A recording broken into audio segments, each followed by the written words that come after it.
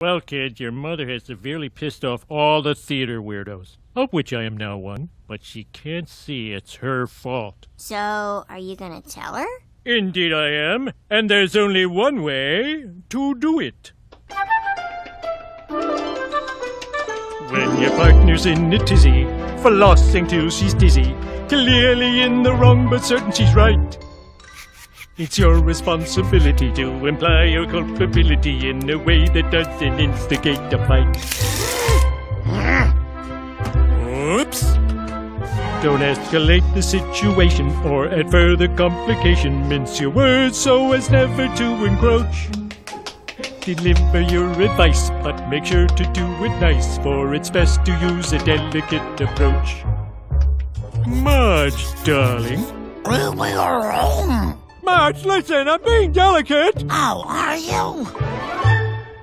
Now I know you may think you were just in your actions, but it makes my heart sink to see your infractions. Your feelings were hurt, but as foul as you flirt, your transaction compels a retraction. Oh, you're right, homie. It's all my fault. I did the one thing a stage manager must never do. I put myself before the show.